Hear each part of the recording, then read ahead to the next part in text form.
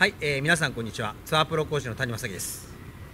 すいませんこんな格好で。えー、とですね。えーと今この状況、えー、まあグリーンまで乗らず、えー、かなりの砲台左足上がりの状態で、えー、ボールが止まってるのが本当奇跡なぐらいの感じの、えー、状況です。で、えーと、エッジまでが、えー、7ヤードぐらいで、えー、エッジからピンまでが15ヤード、えー、計22ヤードっていう状況です。でこの時に、まあ、よくあるのは、えーとまあ、サンドとか使って打ってグリーンには乗るけどえらいショートしちゃう、まあ、10ヤードぐらいショートしちゃったりだとか球が抜けちゃったりとかするっていう状況があると思うんですね。で、えーと、どうしても、えーと、この状況で怖いのはやっぱりその球が抜けてしまうのとあと突き刺さってちょろちょろって言ってもすぐそこしか進まないようなちょろみたいなショット。で、えー、この2つを回避するのに一番いいのはまず球が抜けないようにするためにロフトが寝てるクラブではなくてえー、僕はこういう場合ピッチング48度ぐらいのピッチングを僕は使います。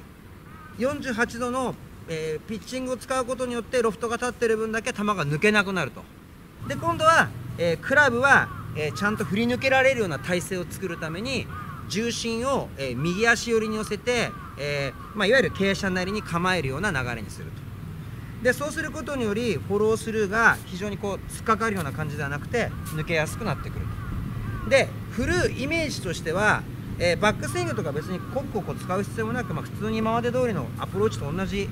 えー、上げ方をしていただいてフォロースルーに関してはどちらかというと上体の胸ですね。胸をターゲットの方向にパーンとこ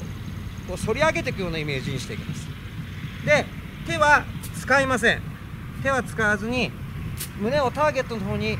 向けていくようなイメージで打っていくと,、えーと、振り抜きも良くなっていくかなと。実際打ってみましょう。そして短く持ちます。短く持ってで、えー